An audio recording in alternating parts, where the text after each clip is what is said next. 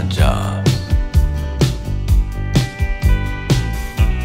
Shooting our leaders, our voice, they rob. I'm fed up with the Fed and the fraud. The devil is testing our resolve. So grateful to the hand of God. Saved us from a deadly